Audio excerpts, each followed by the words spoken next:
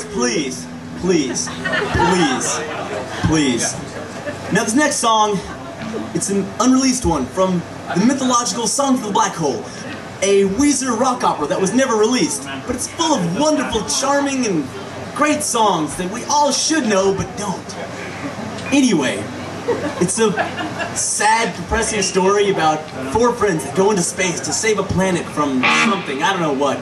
But anyway, this is the first song of the album. It's magical. called Blast Off. In it, we each play different characters. I am Jonas, uh, or should I say my name is Jonas. Uh, he is Wuan. Dondo. Um, she is the robot, M1. And uh, you are...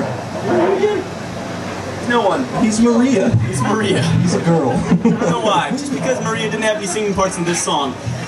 Without further ado, do. You don't remember this song? Yeah, I hope so. I think I do.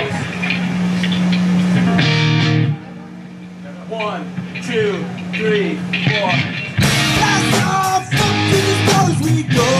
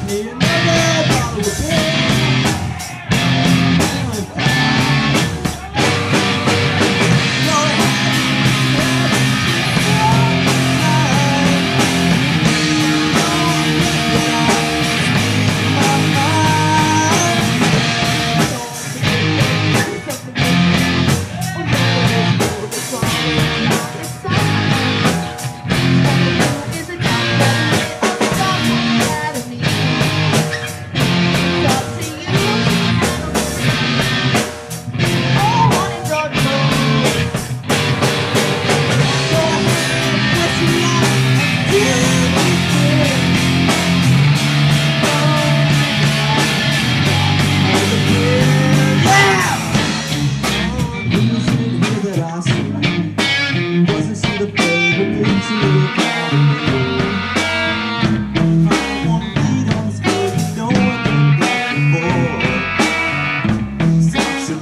a good girl, or just a cheap